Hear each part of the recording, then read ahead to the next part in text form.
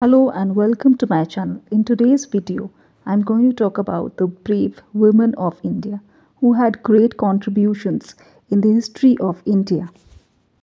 The Rani of Jhansi, who was born on the 19th of November 1835 in Kashi, who is an epitome of courage, knowledge, bravery.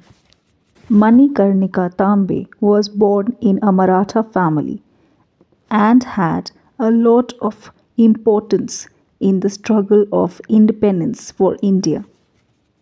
Rani of Jhansi is considered to be one of the greatest freedom fighters of India who had huge contributions in the Indian Revolt of 1857.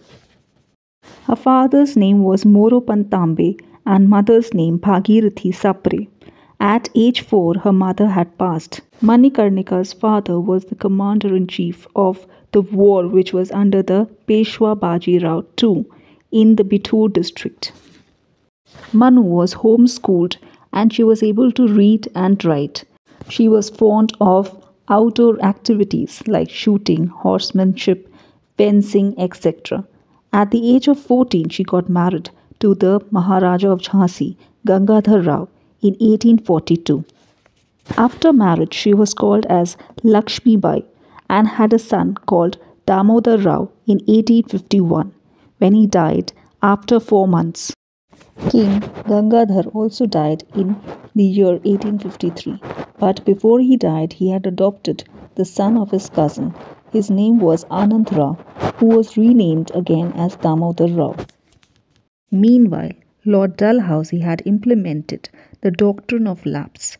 According to the doctrine of lapse, if a king dies without a legal heir, then his kingdom will be annexed by the British rule.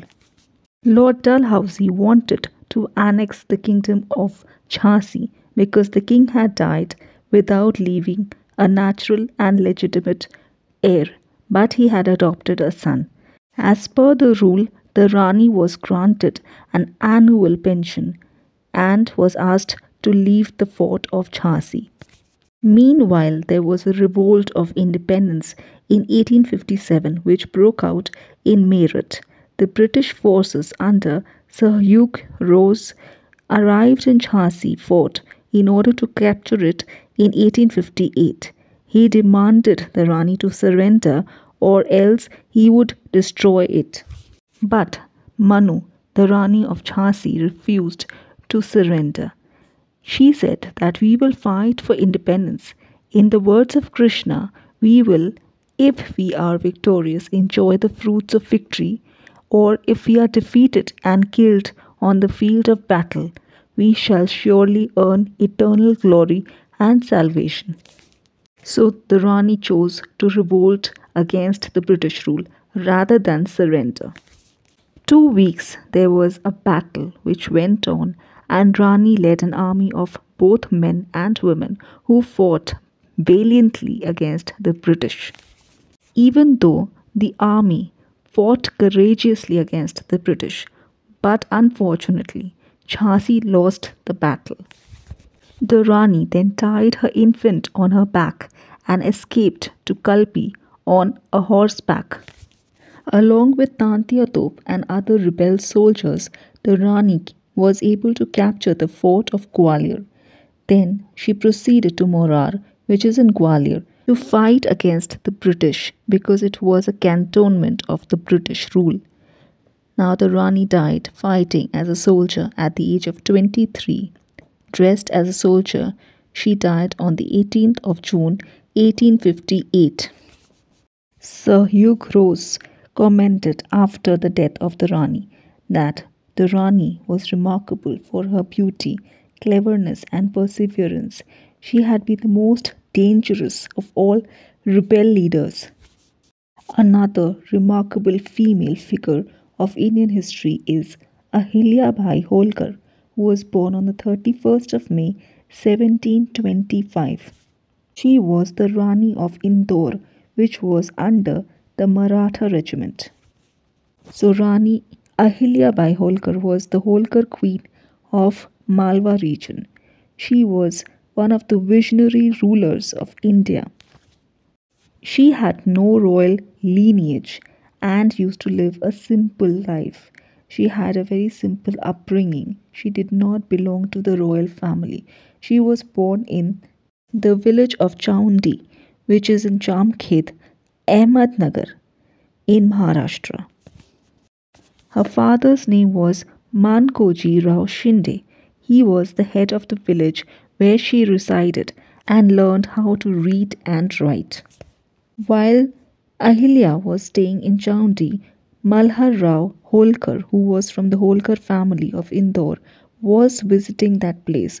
He was highly impressed by Ahilya's gesture of kindness and as she was feeding the hungry and the poor at the temple. He married her to his son Khande Rao Holkar.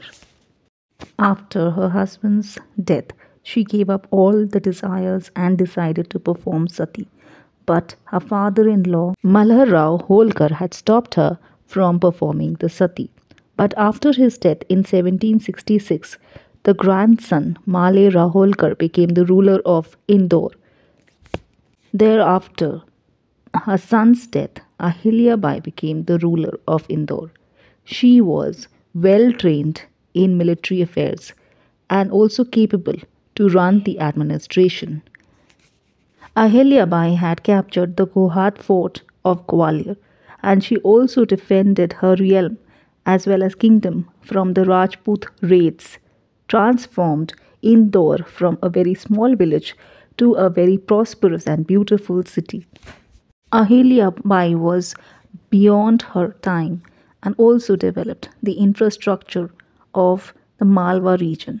She had introduced many projects, donated funds for Hindu temples, and also prepared and developed ghats, tanks, wells, pilgrimage centers, and embellished and beautified Kashi, Gaya, Haridwar, Somnath, Ayodhya, Mathura, Dwarka, Badrinath, Rameshwaram, as well as Jagannath Puri. She was a social reformer and helped many farmers, merchants, and also implemented proper taxation system and feudal rights. Her capital was Maheshwar and she encouraged various forms of literature, art, music, dance, industries, patronized Marathi poetry, as well as also encouraged various poets like the Marathi poet of that time called Moropant and Sanskrit poet who was called as Khushali Ram. She also set up a textile industry at Maheshwar itself.